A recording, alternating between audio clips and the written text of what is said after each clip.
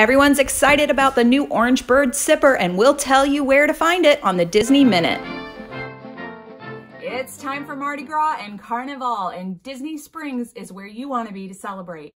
From adorable ears like these found at World of Disney to fun celebrations and delicious food like the Smokehouse Bourbon Bread Pudding, um, yes please, Mardi Gras at Disney Springs is going to be an awesome time. When it comes to Star Wars Galaxy's Edge news, the floodgates are open. From the food to the attractions to the immersive experience of being on Batuu. I cannot wait, you guys. It's going to be so amazing. Check out the links in my description for all the amazing details. New to the Epcot International Flower and Garden Festival this year is the Citrus Blossom booth near the refreshment port, and that is where you'll find the Orange Bird Sipper.